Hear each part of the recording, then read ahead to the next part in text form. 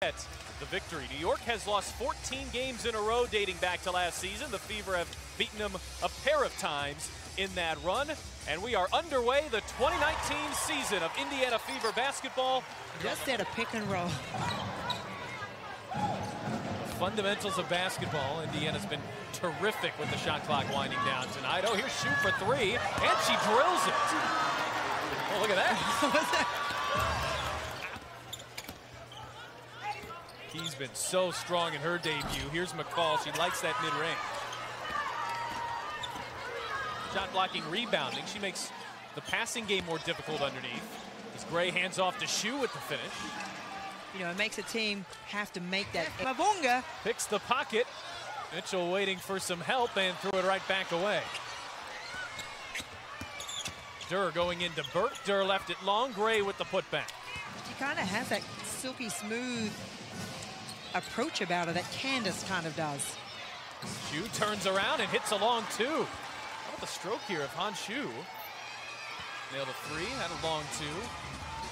那个球投的特别坚决，呃，我就想着，也许我只能上一分钟，因为我上去的时候确实第三节还剩一分钟。其实我能感受到当时教练的想法，肯定就是让我上一分钟就下来。然后我就想，当时其实我也没想太多，我就想出手的出手吧，咱因为根本没有人会，不像是在中国，没有人给你特意的会啊给你含蓄制造一个机会。嗯，只能自己去争取，所以我当时非常坚决就出手了。其实我也没想着他能进，因为我一般不投三分，大家也都知道，我在国内也不怎么投，所以当时那球进了，我也挺震惊。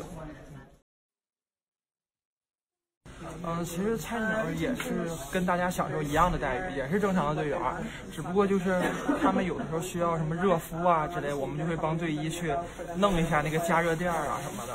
然后还有有人过生日的时候，我们两个菜鸟去唱生日歌，站出来，然后大家都围着就那种，啊，我觉得还挺有爱的。其实没什么，就是菜鸟本来都是一些小孩嘛，像我和我们队那个也是二十二岁的 A 我俩是菜鸟，最小的本来就应该干点活。